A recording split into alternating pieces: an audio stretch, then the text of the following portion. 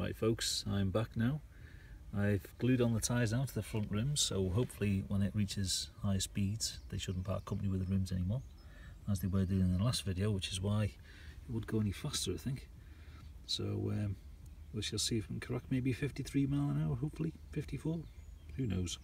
So I'm also here today with the Outlaw, so I'll be doing that now in a separate video. I made a few little tweaks to that here and there, found out a little problem with it as well, but I'll explain that later on. So without further ado, let's see what this Viper can get up to.